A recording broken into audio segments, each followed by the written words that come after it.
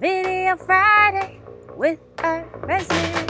Hey, I'm Diane Portwood at Diane Portwood is my Instagram handle, and my artist tip for using ArtResin is when you're working really large, it's best to have a friend help you. Hey guys, I'm Bich Nguyen, and my Instagram handle is Bich Nguyen Art, and friend is always better.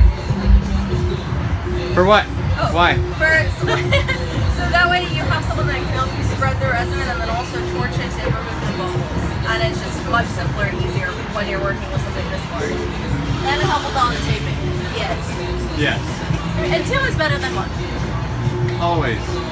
Yay! Do you know the song? guys. Sing it. Sing it.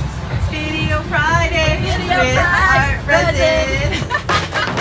Ah, thank God that's over.